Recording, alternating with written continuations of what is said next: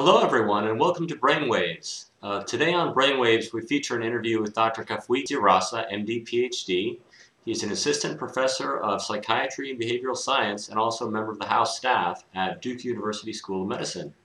Uh, CAF has also won uh, an IMHRO Janssen 2013 Rising Star Translational Research Award uh, for a brilliant proposal. Uh, this proposal, if successful, will uh, enable us to better understand how the brain functions on a circuit level in healthy behavior and how it malfunctions in uh, disease, uh, conditions of psychiatric disease, and uh, perhaps generate a new technology which can can fix these malfunctions in circuit uh, at the circuit level. So um, uh, in a very original way. so Kath, thank you for being on Brainwaves today. Oh, absolutely. It's my pleasure, and thanks for having me. Uh, definitely, absolutely. Great, to, great to have you. So, um, I, you know, I did a little research on you. I hope you don't mind. Um, Google's a, a, a, invasion of privacy, but uh, enables me to find out a little more. I can talk to you about it. Uh, absolutely. Okay. So I, I notice on uh, the STEM CP website's 2011 profile of you that there's a quote that you live by. It's, it is what it is. Mm-hmm. And, and I really like that principle. Um, it's helped me to accept the facts of my life, my condition, my work, and to, to, work with them more effectively. What does that principle mean to you, and, and how do you apply it in your work to better understand and treat uh, mental illness? Yeah, I think so much in life is a balance, and I'll probably start sounding like a psychiatrist here. but I think it's this challenge of accepting reality, knowing that you can't change the past, and for me, it's even interesting as a neuroscientist, understanding that you can't even change the present. And what I mean by that is, as a neuroscientist, just thinking about how human beings operate with everything we experience, whether it's our senses, touch, taste, smell, it's this idea that we perceive things after they've happened. So even our reality of the present is the past. So, you know, I think we spend a lot of time in life um, trying to rewrite the past, thinking about how to change things that we have no control over. And that energy is wasted when we can better position ourselves to ultimately to try to change the future.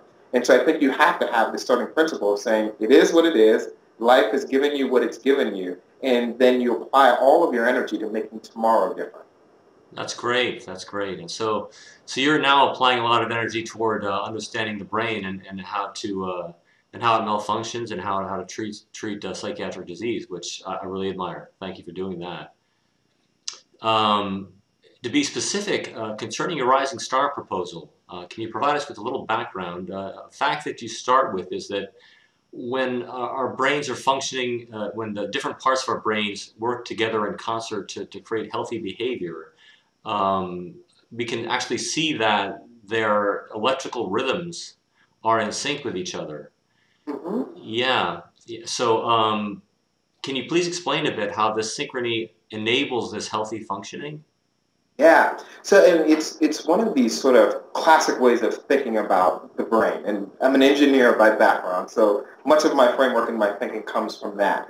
But if you were to think about the brain, you could sort of thinking about it, it originates as a hodgepodge of chemicals, which you know people have thought about it in that way in the past. But ultimately what it is, it's like a super mega computer. And you have, just like a computer, you have different parts that are doing different things. You have memory, you have a hard drive, you have a central processing unit. And our ability to ultimately get something or extract some utility out of that computer is based on all of those parts working together. So each of those parts performs essentially a unique function, but the function of the entire computer together depends on those parts working together. And so a computer has a clocking system where it can tell the exact timing at which things are happening. And you can, you can imagine the challenge you would have if your CPU is saying something at the wrong time when the hard drive isn't working or isn't ready for it or the memory. All of this has to be synchronized in time. So ultimately, our brain works very much the same way. You know, if you were to distill it down and think about something maybe simpler than mental illness, something like a movement disorder. And so it's something as simple as your arms moving or you reaching out for a cup of coffee and holding your hand steady.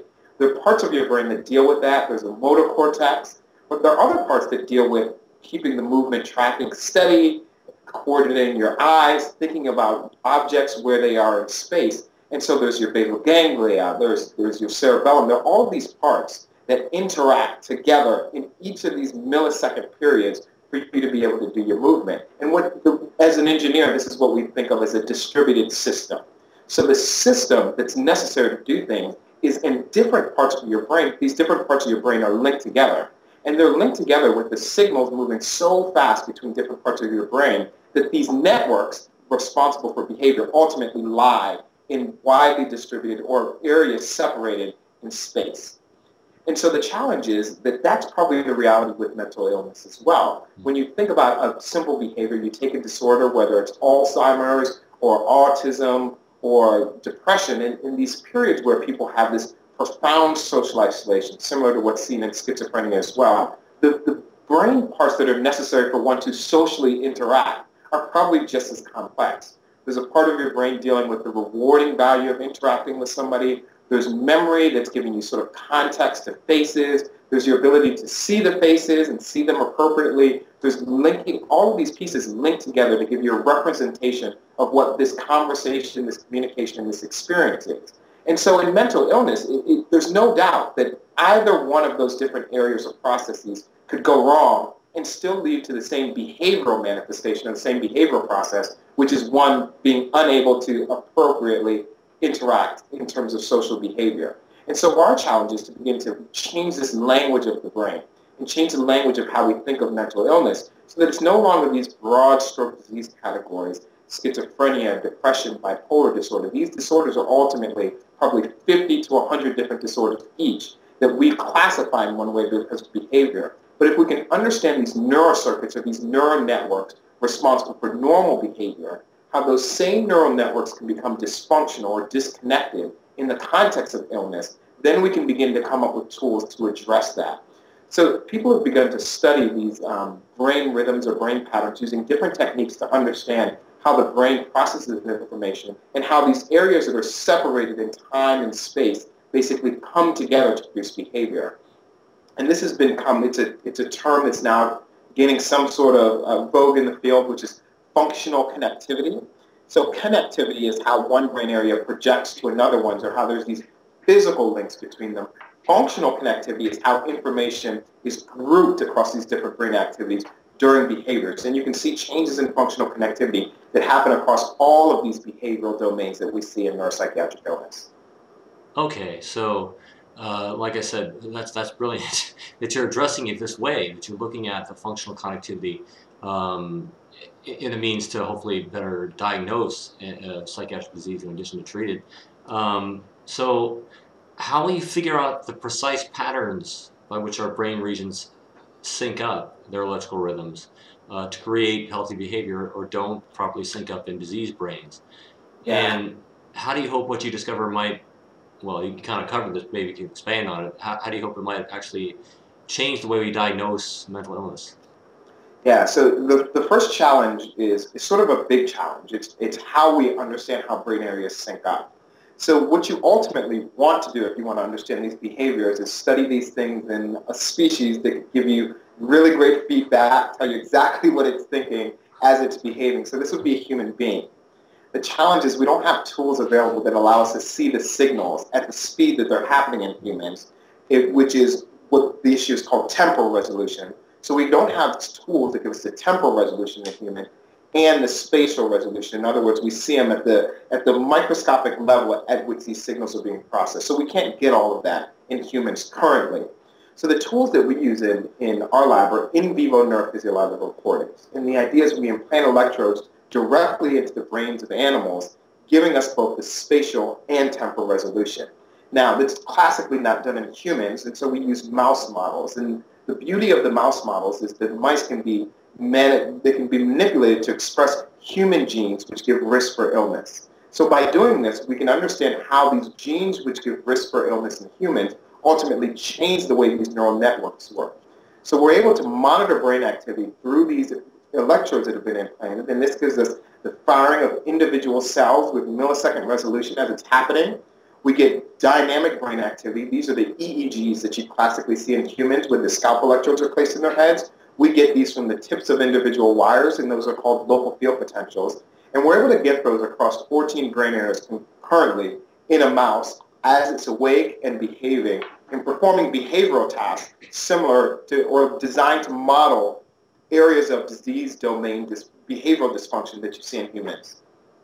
Okay, okay, that makes sense. Um, so, uh, so w- once you study these mice using this this tech, uh, these technological tools, um, you, you, you may see how their their brains are malfunctioning, and and, and what the circuit changes are that, that cause the malfunctioning.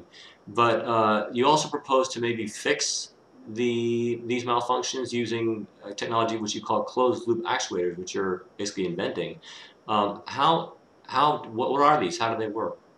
Yeah, so the idea is that when we see this dysfunction that occurs in an animal, um, like the networks that I had mentioned before, it's multiple brain areas that are syncing together, synchronizing together to produce behavior. So the challenge is when we look at our animals, we find what are essentially lesions in functional activity in these genetic models.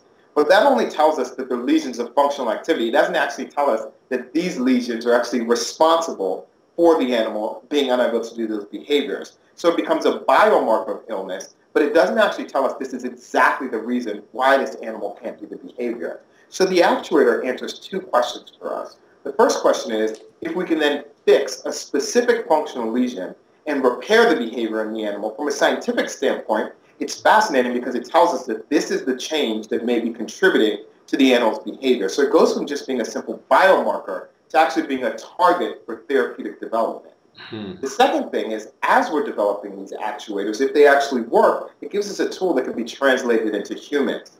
So we do this in two steps. First, we find these basically groups or collections of functional lesions in our genetic models. And those become the biomarkers that we can then just test with the actuator that we're created.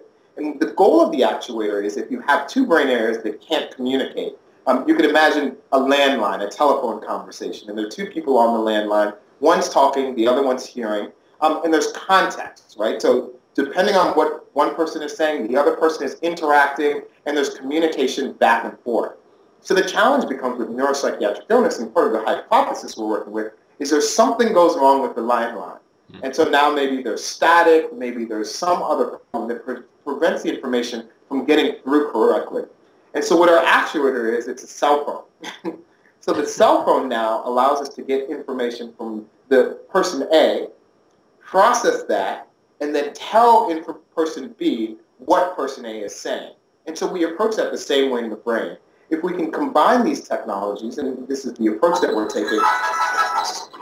Sorry about that. It's I think right. I've got something right in the background. I'm just going to turn it off.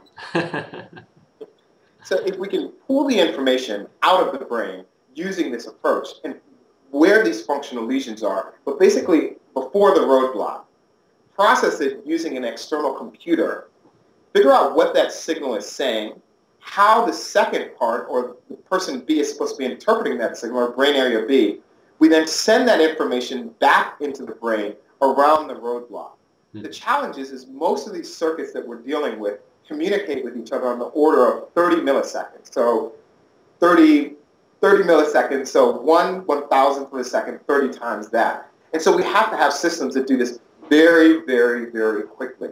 Folks have begun to develop systems like this to deal with people with motor dysfunction, with spinal cord injuries, with paralysis, and we want to adapt these for use in mental illness. So as a proof of principle, these things, that these devices have been developed in humans for motor illnesses and neurological illnesses, we want to expand on that. That's incredible. Would somebody have to wear like a, a box or, uh, I mean, I'm sure the technology will develop as time goes on and, and work is put into it, but uh, I guess it would involve in, implanting um, some some componentry in their in their heads, and then and then governing it with sort of a pacemaker sort of like device. Uh, yeah. So the, the idea and, yeah. and, sort of our, our definition of these, our, the way we describe these actuators are pacemakers for the brain, and okay. it's exactly the principle that's used in the heart. It's these these these pacemakers which actually can detect abnormal rhythms process them and suppress them in real time in sort of the same fashion with the read and putting information back in with this principle that if you can correct electrophysiological timing, you can actually get the circuit to work correctly. Wow. And so uh, in, in the short term, it would look like probably a larger pacemaker, which has some wires that go into the brain and may have some sort of box device that's you know, book bag or something else that's stored in, in some compartment of the body, much like the deep brain stimulators now, ultimately we foresee that these chips could probably get small enough that they would just be implantable microchips that go directly into the brain. And wow. as the technology evolves, you know, whether it's 15 or 20 years from now, the goal would, to be ha- would be to have these chips basically using energy in the same way that the body uses energy, such that it wouldn't need an external battery supply. Wow. Yeah. That I can see how that would be possible to do. There's some some developments that I, I'm aware of that are that feed off like I guess body heat or electrical potential or motion, things like that. Yeah. Exactly. So it boggles the mind what can be done. That's that's really cool. Yes. Um, so what sort of conditions do you think this technology might be able to, to address? Yeah, I, I think that the illnesses that will probably be targeted first would be those with periods of intermittent sickness that have periods where people are their brains return to normal behavioral function in between. So these would be illnesses like depression and bipolar disorder, where the periods of really mood states that are really high or really low, but then there are these periods of normal behavior initially. And these may be initial target point because there's already deep brain stimulation that works for some subsets of patients. Um, electroconvulsive therapy has been shown effective for decades in some of these disorders as well. So the actuators would be thought of as a tuning or optimizing of those stimulation-based techniques. Down the line, um, disorders like schizophrenia or autism, which have more of a neurodevelopmental component, would be sort of the next target for actuators, where it may require us targeting multiple circuits simultaneously in order to restore behavioral function. Okay. And so I think that's how it will evolve over time. Okay. Wow. Um, that, that sounds like you've got your work cut out for you, but, but uh, a good a good prognosis for helping people uh, in, in in in time. So um, so thanks for telling us all about that, Kath, and uh, thanks for appearing on Brainwaves. My pleasure. Absolutely. Thanks so much for having me. Absolutely. So uh, if people have any questions for you online after I post this video, are you ready to answer some questions? Absolutely, it would be my pleasure. All right, thank you, Kat. So you have Thanks a great day. Much as well. Oh, thank you. Yeah, and we'll talk. We'll talk soon. Okay. Look forward to chatting with you. All right. Bye bye. All right. Bye bye.